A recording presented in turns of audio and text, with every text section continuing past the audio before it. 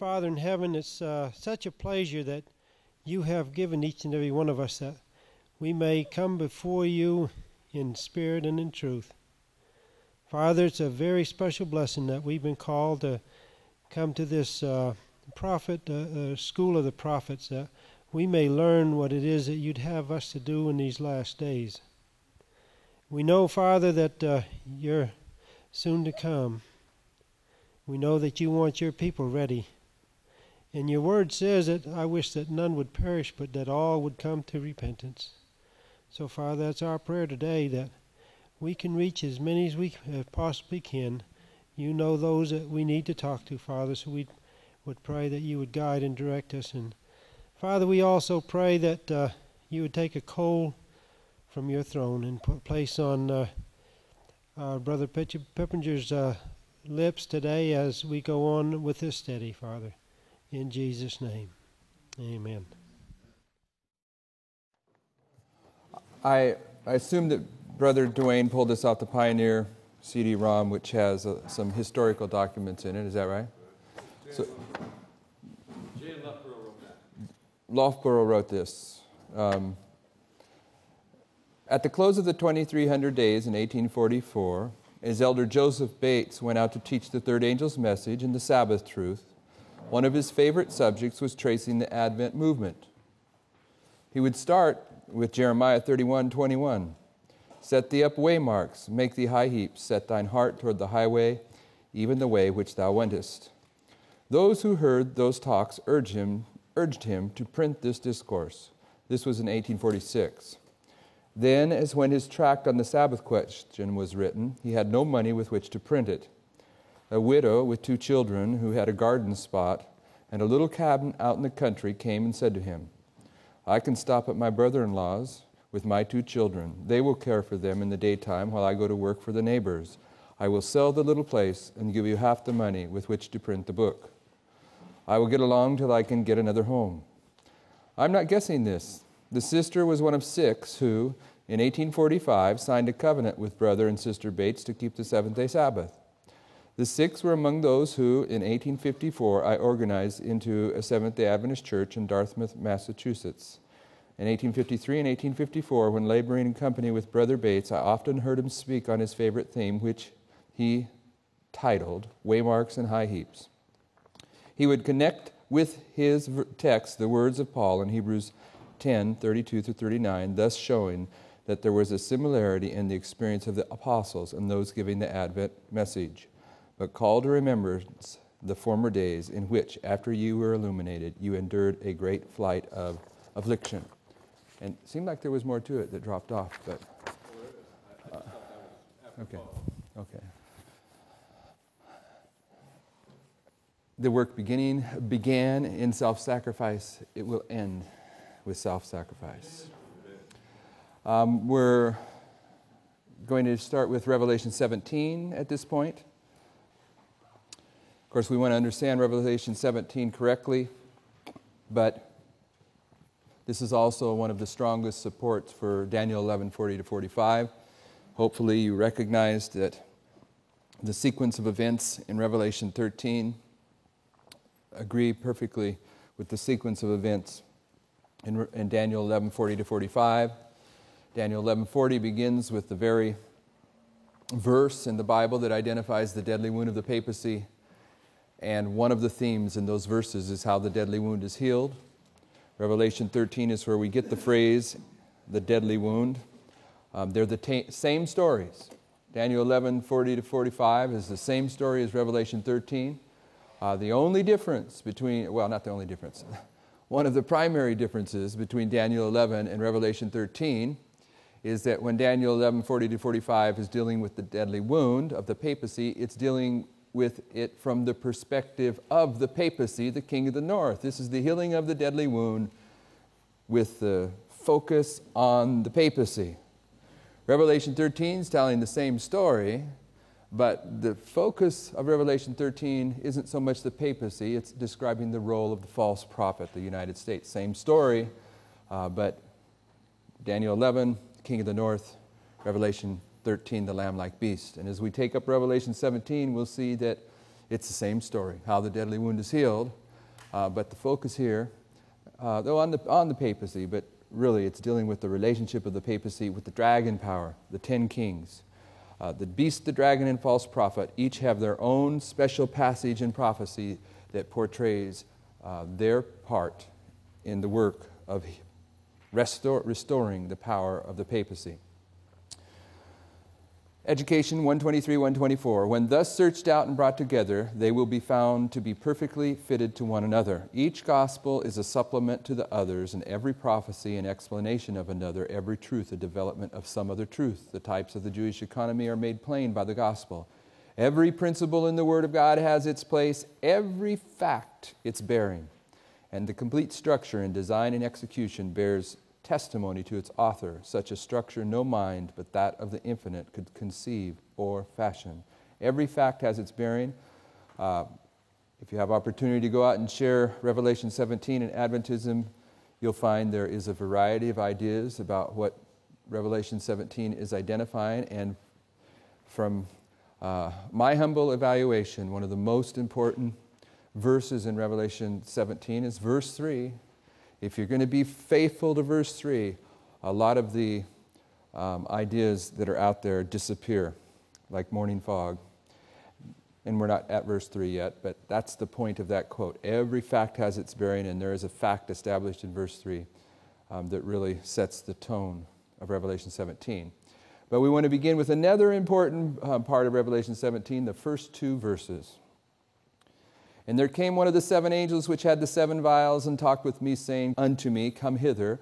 I will show unto thee the judgment of the great whore that sitteth upon many waters, with whom the kings of the earth have committed fornication, and the inhabitants of the earth have been made drunk with the wine of her fornication. Here, to me, is one of the most important um, literary um, truths in Revelation 17, and it's right here there came one of the seven angels which had the seven vials. Who's the seven angels that have the seven vials? It's one of them that comes out of Revelation 16. This is the literary connection. I mean, you don't really need it. There wasn't chapters divisions when John the Revelator wrote this down, but for us here at the end of the world, we need to be reminded that Revelation 17 is directly connected with Revelation 16, and it's done so by the opening phrase telling us that one of the seven angels, which dumped out the seven last plagues, is the one that comes and tells John the Revelator what Revelation 17 is. So, we're, if we're going to understand Revelation 17 um, correctly, we need to understand it in the context of Revelation 16. And uh, I think we'll show to you that one of the keys to understanding it correctly is to place um, Revelation 17 in the context of the beast the dragon, and the false prophet. This is the story of the beast, dragon, false prophet leading the world to Armageddon. It's the story of the healing of the deadly wound. And the first thing we're told in Revelation 17 is remember to understand it in connection with Revelation 16. Now, um, it's going to tell us about the judgment of the great whore with whom the kings of the earth have committed fornication. We've already read before that the woman of Revelation 17 is Rome. Great Controversy 382. And we've read in Testimonies to Ministers, page 38, that kings and rulers and governors have placed upon themselves the brand of Antichrist and are represented as the dragon. I would like to point out here that whatever the dragon is at the end of the world, it is a multiple number of political figures kings, rulers, and governors, obviously, um, civil uh, leaders. It's not a singular one, singular one, it's a plural one. And Rome, um, of course, commits fornication with ten kings. The judgment of the beast, the whore of Rome, with whom the kings, rulers, and governors that symbolize the dragon have committed fornication. Fornication is an unlawful relationship, prophetically, the combination of church and state. This is the theme of Bible prophecy, one of the themes from beginning to end.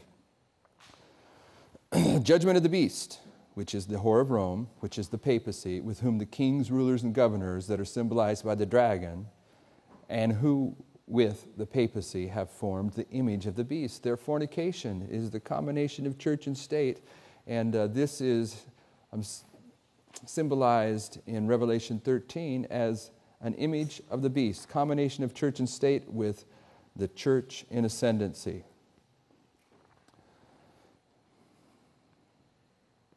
And to be noted here, um, although in Revelation 17, you have to read between the lines or behind the scenes, however you want to say it.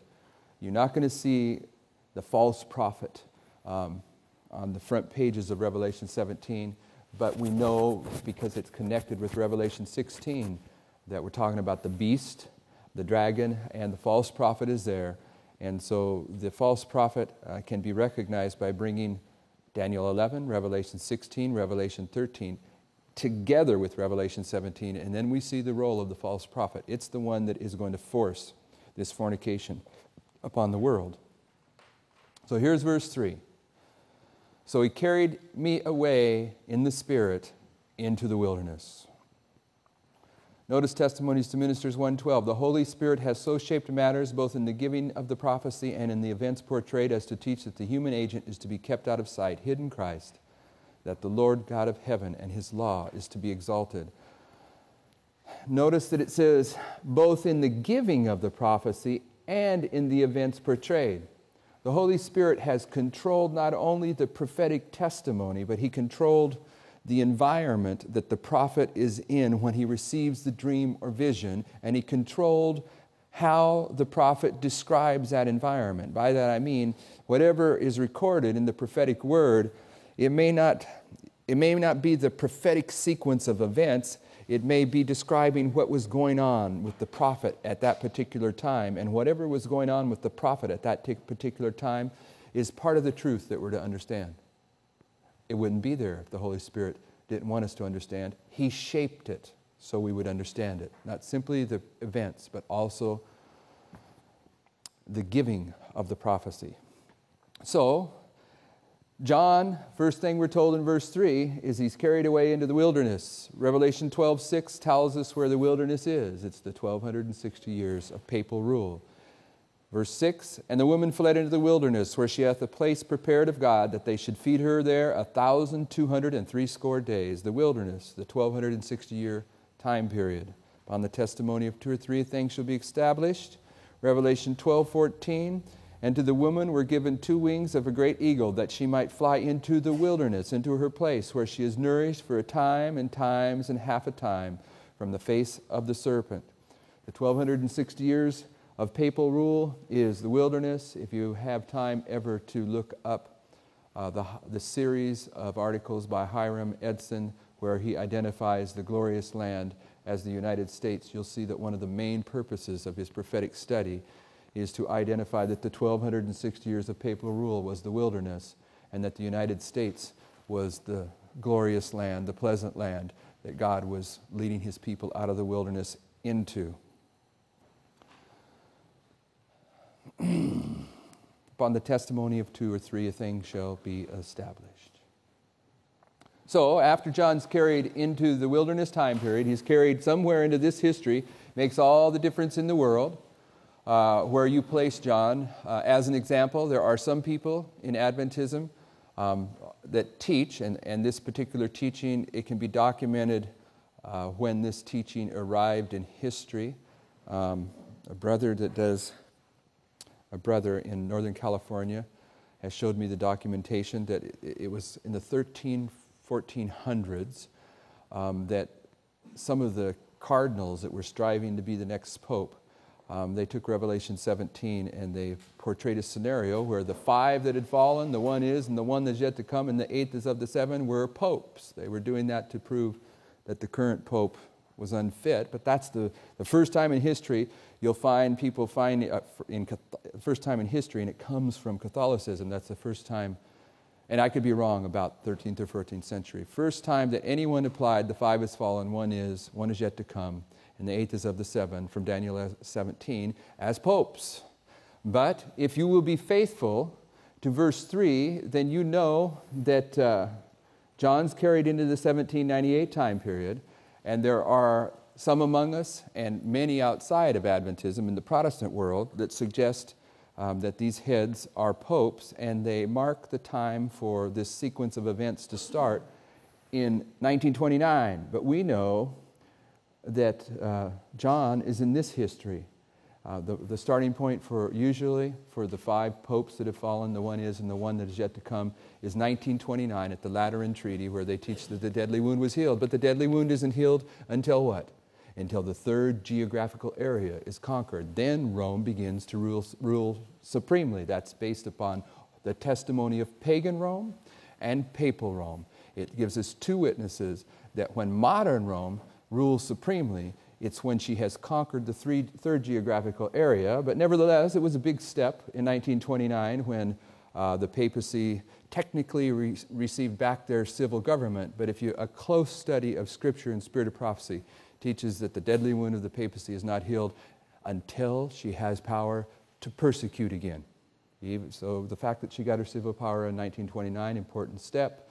But in any case, 1929 would be over here somewhere. John's back here. Um, and so the sequence of five have fallen, one is, and one is yet to come would not uh, fit. So let's read 17, verses 3 through 6 to see what John sees when he's carried into the wilderness. So he carried me away into the wilderness, and I saw a woman set upon a scarlet colored beast full of, the, full of names of blasphemy, having seven heads and ten horns. And the woman was arrayed in purple and scarlet color, and decked with gold and precious stones and pearls, having a golden cup in her hand full of abominations and filthiness of her fornication. And upon her forehead was written, Mystery, Babylon the Great, the mother of harlots and the abominations of the earth. And I saw the woman drunken with the blood of the saints and with the blood of martyrs of Jesus. And when I saw her, I wondered with great admiration. And you can see what I'm emphasizing here is the blood of the saints. And the reason for that is the woman was already drunk with the blood of persecution. And the question I always ask is simple as it sounds do you get drunk before you drink or after you drink? You get drunk after you drink. So if she's already drunk, it means that she's already partaken of the blood of martyrdom, which means John isn't simply in the wilderness here. He's down here at the very end of the 1260 year time period because the woman is already drunk. And you'll notice also another proof that he's already down here is when John sees her, she already has the title Mother of Harlots, which means um, the Reformation has already went far enough that some of the Reformed churches are already falling back under her influence and ceasing to progress out of Babylon. So, the persecution, great controversy, 306. In the Savior's, Savior's conversation with his disciples upon Olivet, after describing the long period of trial for the church, the 1260 years of papal persecution, concerning which he had promised that the tribulation should be shortened, he thus mentioned certain events to precede his coming and fixed the time when the first of these events, from the, when the first of these should be witnessed. In those days, after that tribulation, the sun shall be darkened and the moon shall not give her light the 1260 days or years terminated in 1798. A quarter of a century earlier, persecution had almost ceased. Let me go mark this over here. Somewhere down in here, 25 years, if that's correct ratio wise. Down at the very end, persecution had ceased. So the, the, the drinking of the blood of the martyrs goes up until there, and she's drunk in here. This is when John sees her. And it's, it's interesting how many times Sister White lets us emphasizes that the persecution ceases before 1798. Great Controversy 266. The persecution of the church did not continue throughout the entire period of the 1260 years. So, we are suggesting here, like on the bottom of your screen in the red, John is in the 1798 time period, the 538 to 1798 time period. Persecution has ceased. The whore has already become the mother of harlots. John is at the very end of the wilderness time period. The woman has already persecuted and has reformed churches that are considered her fallen daughters. John is at, not simply in the 1260 years of papal rule, he's at the very end of it. Verse 7 And the angel said unto me, Wherefore didst thou marvel? I will tell thee the mystery of the woman and of the beast that carrieth her, which has seven heads and ten horns. Now, when, typically when we think of a mystery today, we think of a, a book or a movie. that uh, keeps you guessing right to the very end, but then at the end you figure it out. It's a, something hard to figure out, but at the very end you get the punchline. But that isn't what a mystery in the Bible is. A mystery in the Bible is something that is deep and profound and beyond understanding, but what has been revealed about that mystery is required to understand. And we have a couple examples here Colossians 1 26 and 27. Even the mystery which has been hidden from ages and from generations, but now is made manifest to his saints, to whom God would make known what is the riches of the glory of the, this mystery among the Gentiles, which is Christ in you, the hope of glory. Christ in you, the hope of glory, is beyond our understanding. But what has been revealed about that truth, we must understand and we must experience. So, a mystery in the Bible is beyond understanding, but what is revealed about that mystery we must understand. And the opposite of that is the same in terms of what a mystery is. 2 Thessalonians 2 7. For the mystery of iniquity doth already work, only he who now letteth will let until he be taken out of the, out of the way. The mystery of iniquity is the mystery of sin, and the, the entrance of sin into a perfect creation is beyond our understanding.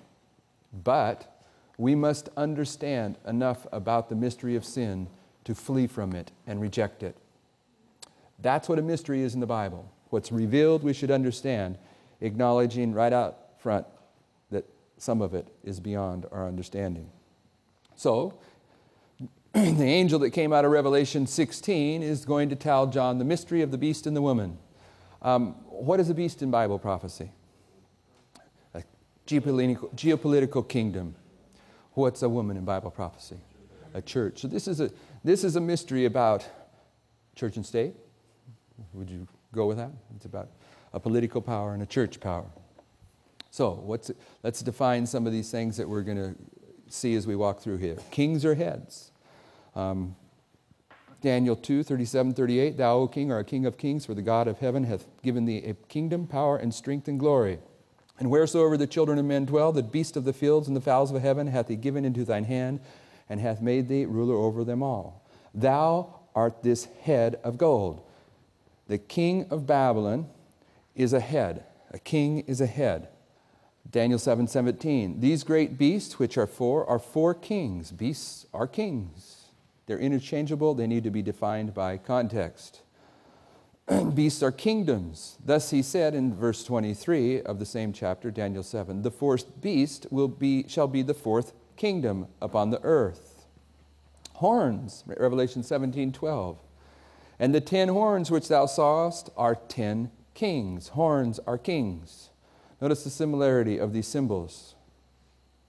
Horns, powers. Signs of the Times, November 1st, 1899. The two horns like a lamb well represent the character of the United States and as expressed in its two fundamental principles, republicanism and Protestantism. These principles are the secret of our power and prosperity as a nation. Prophets and Kings 581. Zechariah then saw the powers that had scattered Judah, Israel, and Jerusalem, symbolized by four horns. Horns are powers. The beast, so now, with, with those in mind, we're going to walk down through verse 8 of Revelation 17 8. I've kind of broke it up here in a section. Um, the beast that thou sawest was and is not and shall ascend. And uh, what it's defining here in this verse is um, who this beast is. The first characteristic that, uh, will, one of the characteristics to consider is that it's, it's the one that ascends. It comes out of the bottomless pit it's destined to go into perdition. And they that dwell on the earth shall wonder, whose names are not written in the book of life from the foundation of the world. Shall ascend. This is from Daniel 11:40. We dealt with this earlier. Come against him like a whirlwind. This against um, means to ascend. Um, in Isaiah 14, verses 13 and 14, one of the characteristics of Satan, and of course the papacy is just the manifestation of Satan upon the earth. For thou hast said in thine heart, I will ascend into heaven, I will exalt my throne above the stars of God. I will sit also upon the mount of the congregation in the sides of the north. I will ascend above the heights of the cloud. So, this, one of the, the characteristics of this beast that was and is not and yet is, is that he ascends. Review and Herald, December 21st, 1897. It's always, you know, when you put this, the, the prophecy school together, you have to put the, uh, the different presentations together for one complete presentation. But when you do the prophecy school, you, you make so many points as you're leading up to the last couple days that you get down here to this area and you realize there's so many of these uh, things that we've already established. You can start moving pretty quickly if you want. Um, we've, went, we've read this uh, quote here um, a couple times at least, I'm sure, but we'll read it again. In this time of prevailing iniquity, the Protestant churches that have rejected a thus saith the Lord will reach a strange pass. They will be converted to the world. Um, if you're listening closely to Russell, like I know that you have been, this conversion to the world is talking about a, a binding off, sealing off time period um, where we're either going to be converted to the papacy or converted to Christ, converted to the Antichrist, con- converted to Christ.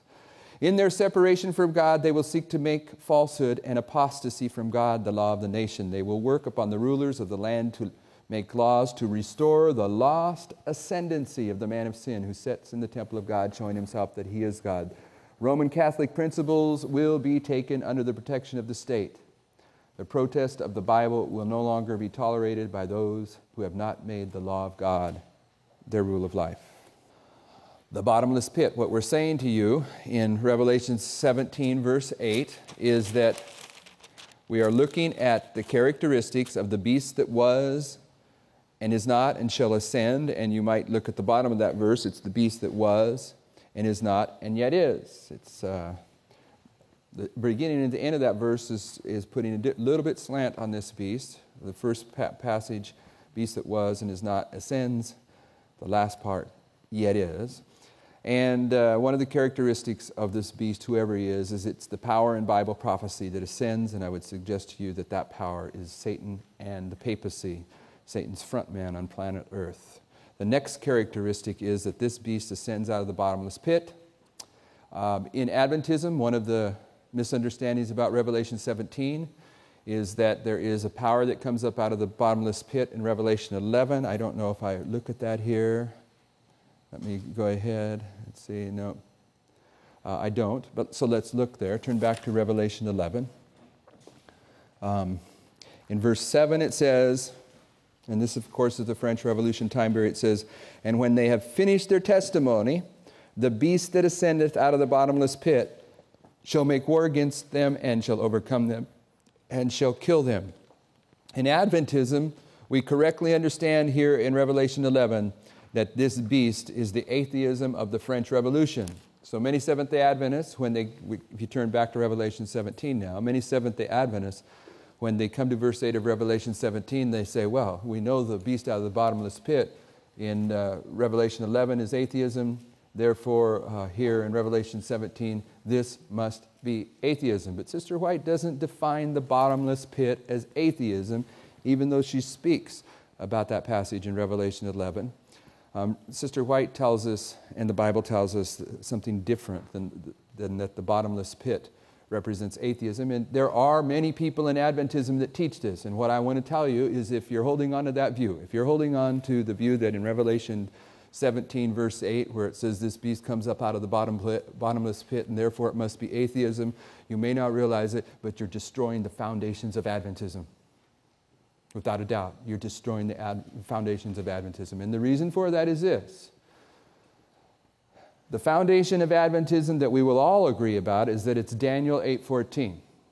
But what empowered the message of Daniel 8:14 was the year day principle being confirmed in 1840 in front of the eyes of the world on the collapse of the Ottoman Empire based on a time prophecy found in Revelation 9 verse 15. And if you turn back to Revelation 9, um, which the pioneers clearly understood, they, they took the understanding of Revelation 9, made a prediction about the collapse of the Ottoman Empire, and when it came to pass, the, the angel of Revelation 10 came down out of heaven with the little big book open in his hand. This is the foundation of Adventism. This is where the manifestation of the power of God came into Adventism. It was based upon this fulfillment in Revelation 9:15. And what is this power? If you look at verse 1 and 2 of chapter 9, it says, And the fifth angel sounded, and I saw a star fall from heaven unto the earth, and to him was given the key of the bottomless pit, and he opened the bottomless pit, and there arose a smoke out of the pit. The pioneers correct, correctly identify this power in Revelation 9 that comes out of the bottomless pit as Islam, what they called in their day and age Mohammedism. And if you're going to say that because we identify the bottomless pit in Revelation 11 as atheism, and therefore the bottomless pit in Revelation 17 is atheism, then you need to say that the bottomless pit in Revelation 9 is atheism, and then you destroy our understanding of Islam and you destroy the 391 year and 15 day time prophecy of Revelation 9:15. You destroy the year day principle, and Daniel 8:14 goes tumbling down with it. Symbols have to be determined by their context and, and by their meaning. But anyway, when they have finished their temp- Great Controversy 268, when they have finished, are finishing their testimony, the period when the two witnesses were to prophesy clothed in sackcloth ended in 1798. As they were approaching the termination of their work in obscurity, war was to be made upon them by the power represented as the beast that ascendeth out of the bottomless pit. In many of the nations of Europe, the powers that ruled in church and state had for centuries been controlled by Satan through the medium of the papacy. Now, here, Sister White's going to tell us what the bottomless pit is. But here is brought to view a new manifestation of satanic power. The bottomless pit symbolizes a new manifestation of satanic power. Now, if you take that definition and you go back to the bottomless pit of Revelation 9, when Islam was coming into the, the world and it was symbolized as coming out of the bottomless pit, at that time period when Muhammad was born, could you call that a new manifestation of satanic power? Well, yeah. What about the atheism that came into history in the French Revolution and it came out of the bottomless pit? At that time, was it a new manifestation of satanic power? Yes. And here in Revelation 17, is it a new manifestation of satanic power? Sort of. Sort of, in the sense it's been here before, but this is modern Rome. This is when the deadly wound is healed. It's a new manifestation of, of, of satanic power because when it comes to control the world this time, it's going to be the beast, the dragon, and the false prophet. It's a new manifestation of satanic power. not, not strictly, but these other definitions contribute to it. Great Controversy 658. That expression, bottomless pit, represents the earth in a state of confusion and darkness, is evident from other scriptures. Is a state, satanic power consistent with confusion and darkness? Is Satan confusion and darkness? Is Satan the prince of darkness? Review and Herald, July 21st, 1851. I told him that the Lord had shown me in vision that mesmerism, which is hypnotism in our day and age now that mesmerism was from the devil, from the bottomless pit. The bottomless pit in Bible prophecy is something that comes from Satan, something from the prince of darkness, a new manifestation of satanic power. Now, what we're saying is that one of the characteristics of this beast in verse 8 is that it's the power that ascends in Bible prophecy, and I would submit to you that that's uh, either Satan or the papacy uh, by context, and that whoever this beast is, it's uh, a satanic power.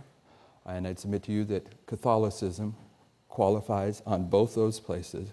And then the next phrase of Revelation 17, verse 8, is that it, this power goes into perdition.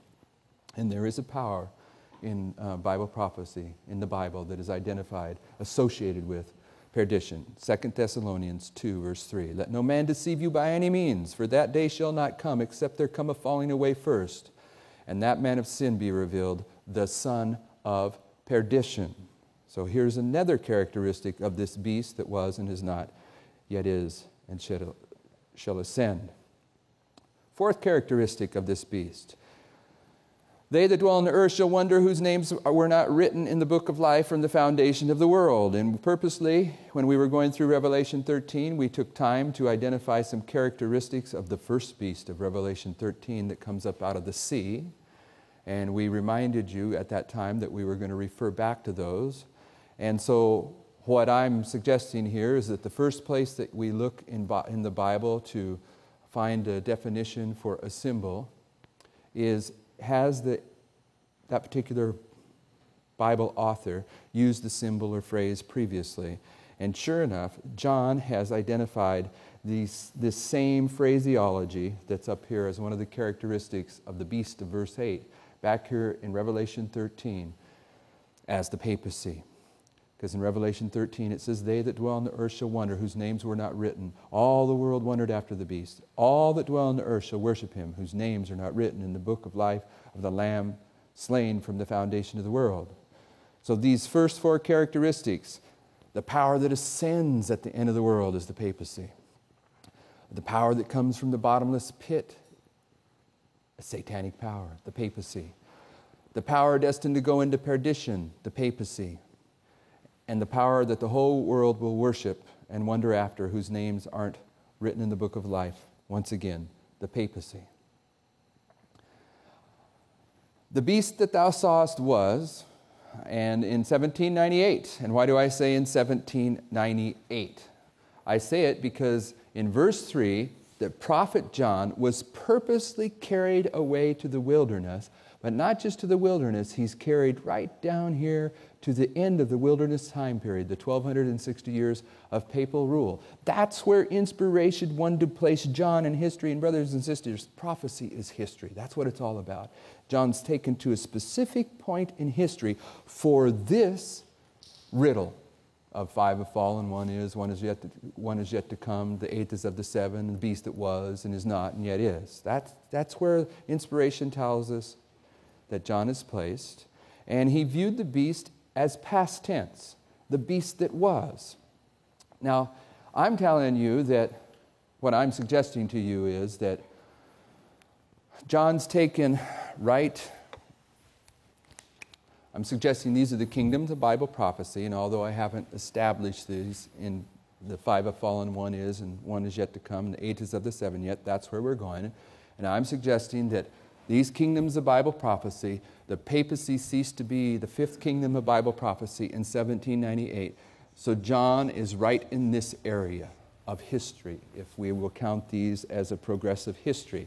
He's right down here, but technically, he's in the wilderness, so he's still in this time period of 1260 years when the papacy ruled the world. But he's down there where the woman's already drunk. She's already ceased the persecution. He's at the very end. So, is it okay in Bible prophecy to still be in the time period when the, a kingdom of Bible prophecy is ruling the world, yet prophetically identify it as being fallen? And it is, that rule is, uh, you know, accept, established in the book of Daniel. If you turn to Daniel chapter 8, verse 1, it starts this way. In the third year of the reign of King Belshazzar, who's King Belshazzar? Yes, he's the grandson of Nebuchadnezzar, but who is he? The last king of Babylon. So Daniel is in the very end time period of this kingdom uh, when he receives the vision of Daniel 8 and he sees the vision that we're familiar with. And then in verse 20, um, he begins to receive the explanation of this vision, and it says, uh, The first kingdom of Bible prophecy is the Medes and Persians. Now, Daniel 8 begins the kingdoms of Bible prophecy in that vision with the Medes and Persians, but Daniel's still in the time period when the last king of Babylon was ruling the world. But when Daniel's given the vision of kingdoms of Bible prophecy, at that time period, he doesn't include Babylon. Because Babylon, though technically still ruling the world, prophetically was fallen. It was the, at the end of the time period when it ruled the world. So when inspiration set forth the kingdom of Bible prophecy for Daniel in chapter 8, it treated Babylon as if it was fallen. And this is the same as where John is here at the end of the time period when the papacy ruled the world. This beast, in John's point of view in verse 8, was the beast that was. Now, the beast that thou sawest was and is not, and shall ascend and yet is, is not. The 1260 years of papal supremacy began in 538 and would therefore terminate in 1798. At that time, a French army entered Rome and made the Pope a prisoner, and he died in exile. Though a new Pope was soon afterward elected, the papal hierarchy has never since been able to wield the power which it possessed before. In 1798, it is not. It was. It is not. No longer the kingdom of Bible prophecy. But it shall ascend. And I don't know how many times we've read this in this prophecy school. The influence of Rome in the countries that once acknowledged her dominion is still far from being destroyed, and prophecy foretells a restoration of her power. The papacy is destined to ascend. The Great Controversy, 581, speaking of the fact that the papacy at the, in this verse is not ruling the world right at this current time. It says, God's word has given warning of the impending danger. Let this be unheeded, and the Protestant world will learn what the purposes of Rome really are. Only when it's too late to escape the snare, she is silently growing in her, into power. Her doctrines are exerting their influence in legislative halls, in the churches, and in the hearts of men. She is piling up her lofty and massive structures in the secret recesses of which her former persecutions will be repeated. If you've ever been, to South America and in between meetings, you're in these big cities in South America and you go walk around these Catholic churches, and, and if you're a Seventh day Adventist that thinks about this particular quote in the spirit of prophecy, you do walk around these big churches and you see, ah, the, the, the floor is way above ground, and you can see where the stones were put in the windows and the doors on this foundational level. And then when you go up in, up in the church, there's no way to get down there in that basement, but you know there's something down there. You can tell it. But that's definitely outside the scope of this presentation. Um, she is piling up her lofty and massive structures in the secret recesses of which her former persecutions will be repeated. Stealthily and unsuspectedly, she is strengthening her forces to further her own ends when the time shall come for her to strike. All that she desires is vantage ground, and this is already be- being given her.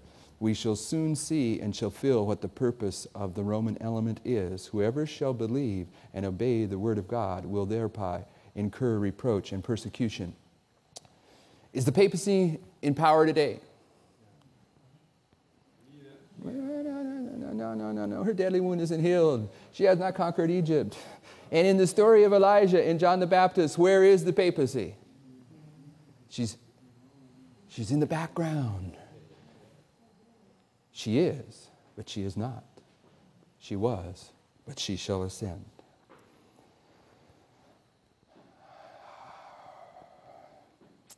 Oh, okay. Now we are on um, a very, this is, I like this one. This, uh, this, give credit where credit is due. I learned this from uh, Brother Russell.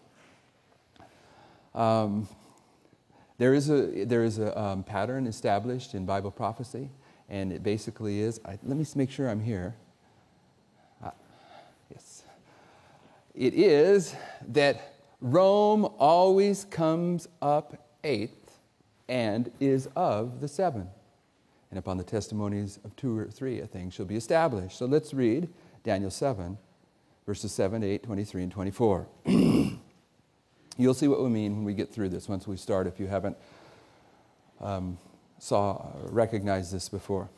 After this I saw night visions, and behold, a fourth beast, dreadful and terrible, and strong exceedingly, and it had great iron teeth. It devoured and brake in pieces and stamped the residue with the feet of it, and it was diverse from all the other beasts that were before it. Please note that pagan Rome here is diverse from all the beasts that were before it. And it had ten horns. I considered the horns, and behold, there came up among them another little horn, before, before whom three of the first horns plucked up by the roots, the Heruli, the Ostrogoths, and the Vandals. And behold, in this horn were eyes like the eyes of a man, and a mouth speaking great things. Action of legislative and judicial authorities is the speaking of a nation. Thus he said, The fourth beast shall be the fourth, fourth kingdom upon the earth, Now, notice, which shall be diverse from all the kingdoms, and shall devour the whole earth, and shall tread it down and break in pieces. And the ten horns out of this kingdom are ten kings that shall arise, and another shall rise after them. Now, this is the papacy, and he shall be diverse from the first, and he shall do, subdue three kings. Both pagan Rome and papal Rome are the diverse kingdoms in Daniel 7. They're both portrayed under the, the general heading of diverse kingdoms, but in the simple math of this, what we have is the 10 kingdoms of Europe, and three of them are going to be removed. And of those seven European nations, out of one of them will come the papacy, because one of those seven European nations was Italy. Okay? So the Heruli, the Ostrogoth, and the Vandals were removed. So we're talking prophetic here, and we're talking a little simple math. The three are removed, leaving the seven European kingdoms, and up comes the papal power, but he's of the seven because he comes up in Italy. So, what I'm saying here is in Daniel 7, Rome comes up eighth and is of the seven. And uh, here we're dealing with papal Rome. You got, the, you got the phraseology there? You got the phrase? Rome is always eighth and is of the seven. This is Daniel 8.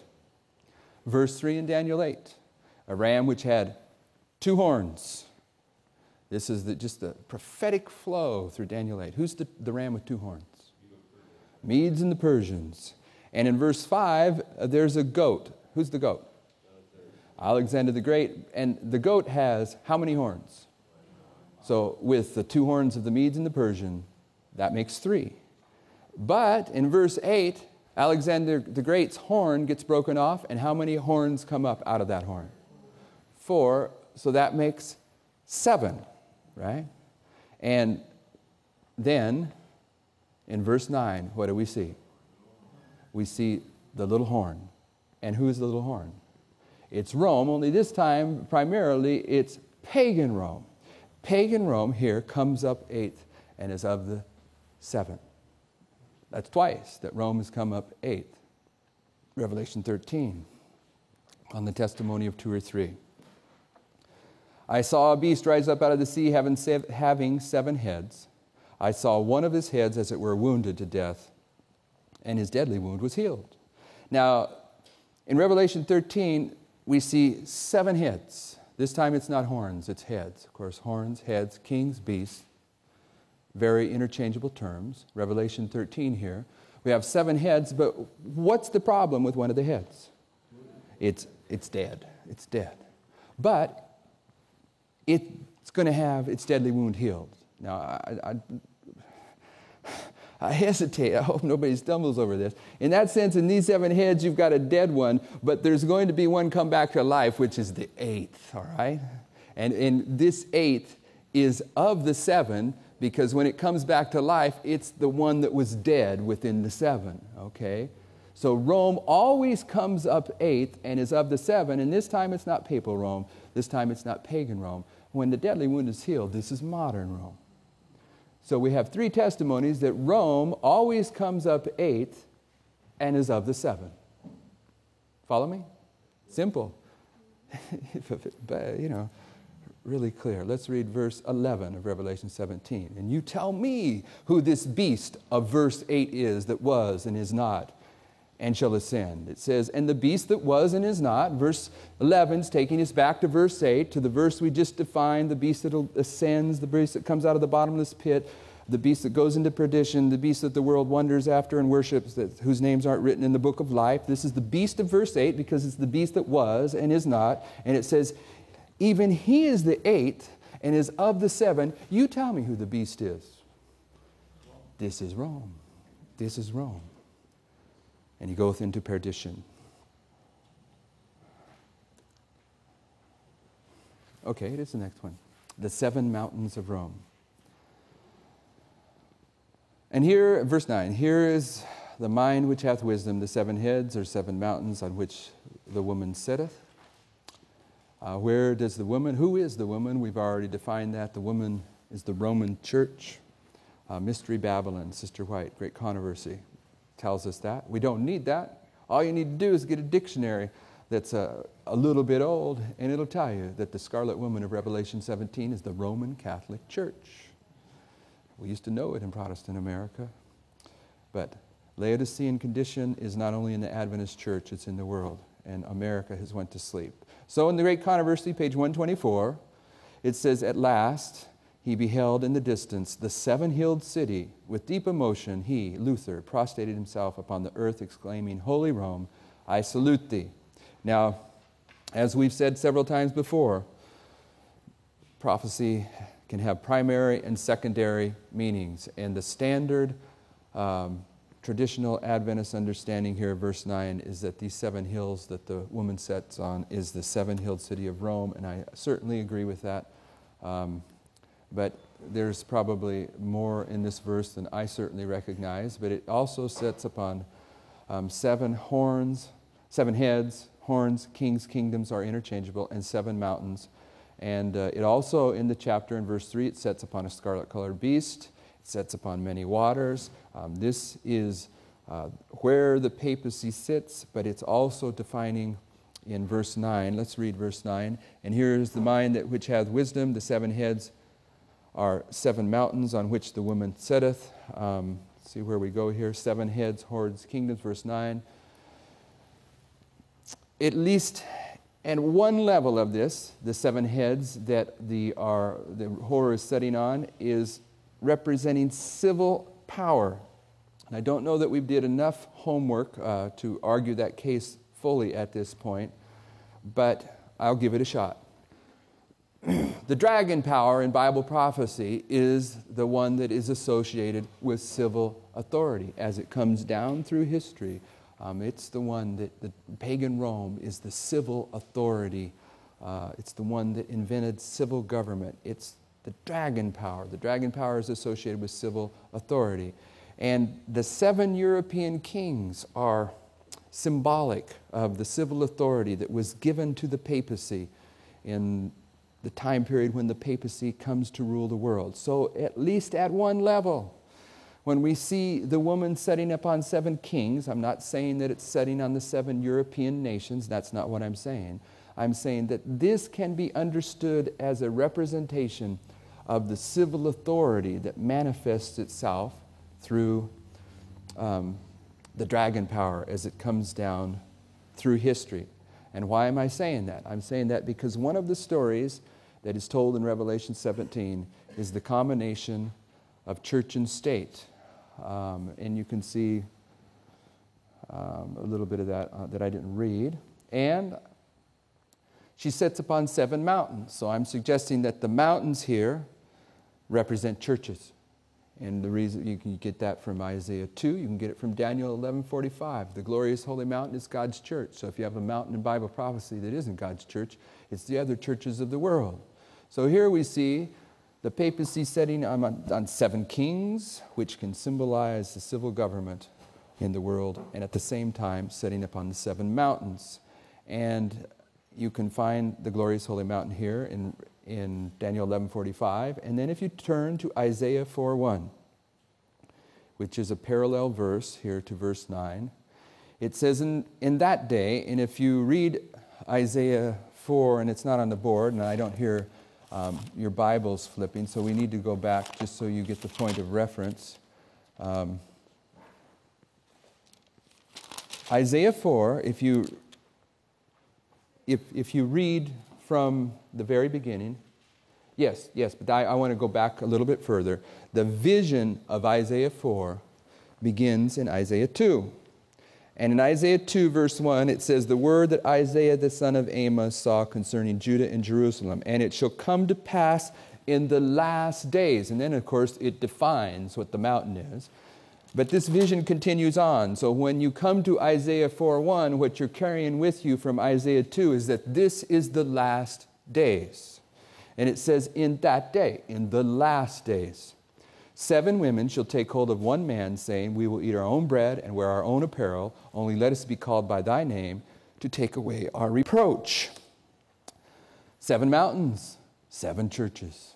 And in that day, seven women, also churches, shall take hold of one man. the man of sin. Now, if you read the Seventh day Adventist Bible commentary, they'll say that these women are taking hold of Christ, but this cannot be. It cannot be. Based on the verse, Isaiah 4:1, what do the women say? We'll eat our own bread and we'll wear our own apparel. Now, does a Christian church wear its own apparel? Does a Christian wear his own apparel? No way. This can't be a Christian church. These are seven churches, and what does, this, what does seven mean? Complete, total? Uh, it's saying here that the papacy is going to control all the churches at the end of time in, in Isaiah 4:1. That the, the churches are going to do what? Take hold of one man. What's it mean to take hold of one man? They're going to come into unity with the papacy by giving homage to the papacy. And how do the churches give homage to the papacy at the end of the world? At the Sunday law.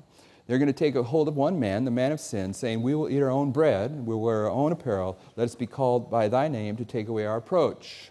Four points there bread, apparel, name, reproach. Running out of time, so I don't know if we'll get through them. We'll go, we'll see. Testimonies, Volume 5, page 330. We'll eat our own bread. Man shall not live by bread alone, but by every word that proceedeth out of the mouth of God, are the words of the Savior. Errors in doctrine are multiplying and twining themselves with serpentine like subtlety around the affections of the people. There is not a doctrine of the Bible that has not been denied. The great truths of prophecy showing our position in the history of the world had been shorn of their beauty and power by the clergy who seek to make these all important truths dark and incomprehensible. In many cases, the children are drifting away from the old landmarks. To eat your own bread is to partake of your own doctrine wear our own apparel. We are to bring the, to the lost the tidings that Christ can forgive sin, can renew the nature, can clothe the soul in the garments of his righteousness. These seven women are not clothing themselves in the garments of Christ's righteousness, they're wearing their own apparel. Let us be called by their name. The third angel's message has not been sent forth to the, has been sent forth to the world, warning men against receiving the mark of the beast or of his image in their foreheads or in their hands. To receive this mark means to come to the same decision that the beast has done and to advocate the same ideas in direct opposition to the word of God. It means to have the same character as the papacy because at the end of time, name is character. Take away our reproach. Those who have been distrustful of self, who have been so circumstances that they've not dared to face stigma and reproach, will at last openly declare themselves for Christ and his laws. These churches are the ones that are afraid to stand for Christ in the last days. And so what verse 9 is saying, in agreement with Isaiah 4:1, is that in the last days, the papacy is going to take control of church and state. It's going to set on both of them, and that all the churches and all the civil powers are going to come under the control of the papacy. But primarily, it's saying that the papacy is seated in the seven hilled city of Rome. Shall we pray?